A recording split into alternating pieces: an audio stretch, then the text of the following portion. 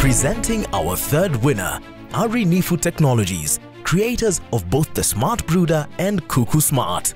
The Smart Brooder is a digital mother hen that uses the Internet of Things to regulate temperature and humidity in poultries, while Kuku Smart is a smart poultry management application that provides farmers across Kenya with operational insights. YouthADAPT um, is a very amazing opportunity for us here at Arinifu. First of all, we are very honored to win the award. And for us, it's a chance to connect with like-minded people but also learn more about the adaptation space because it's something that is becoming more and more talked about uh, because it wasn't as common in the past and we're just trying to use the technology that we come up with to improve this productivity for our farmers despite this changing climate